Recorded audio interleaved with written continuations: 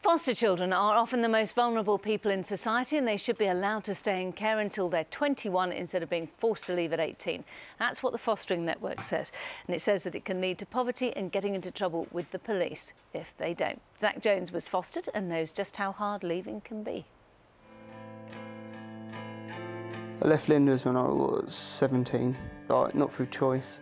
I didn't want to leave. I know Linda didn't want me to leave, but through social services, you know, you have to leave.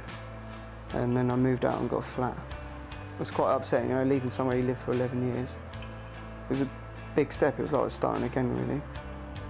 Trying to pay, like, like organise a building that was rubbish, like council tax, like paying the phone bill, gas, electricity. Sometimes I used to miss council tax because I would forget. I suppose I was depressed and I was down, I felt lonely, it wasn't a very nice like, experience to be going through it at uh, 17.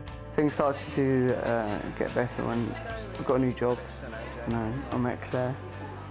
I suggested university to Zac. He had the right qualities to be a nurse.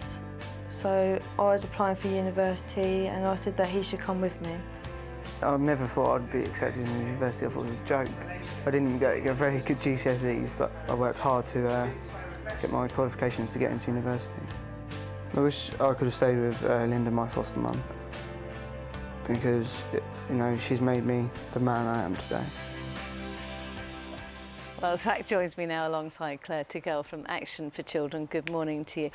So, I mean, obviously, you look at that um, that report there. I, know you were just spending the entire time saying, "Oh, the chin's got to go." No, you look great, really do. Um, but but when you look back at, at leaving uh, what essentially was your home at um, and being forced to leave at 18, I mean, do you actually remember that day? Yeah, I, I, yeah, I remember it. I got into my flat, and well, well, and I took my suitcase, and I got into my flat, and I thought, "Oh, this is it." Me on my own. I, I knew I could go back, but it wasn't the same, you know, going home and then at night time you hear there's no one about, there's no people. Yeah, and, and you felt lonely?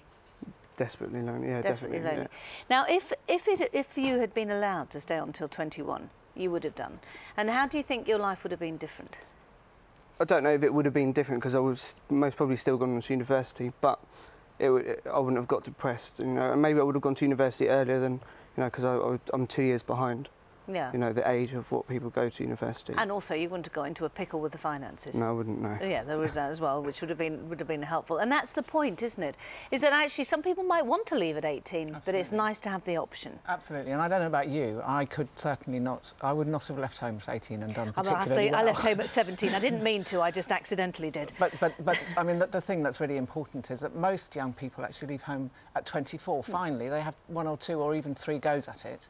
Um, and yet, for children in care, we expect them to leave much, much earlier. And, and some of them have had some fairly awful experiences, and it's really important to provide them with more support, actually, often, um, than, than, than, children who haven't been in care. And we don't. Often we fail them, and it's not good enough.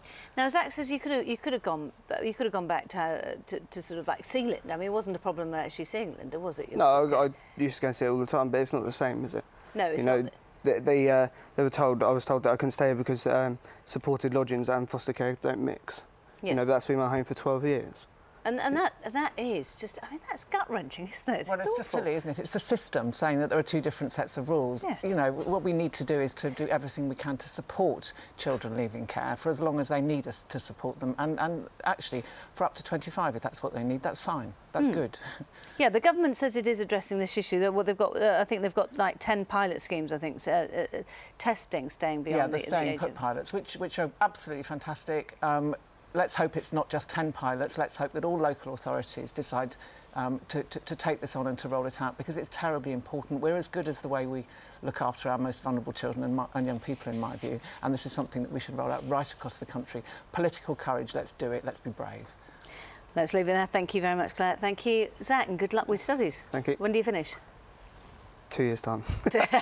you'll, you'll get there.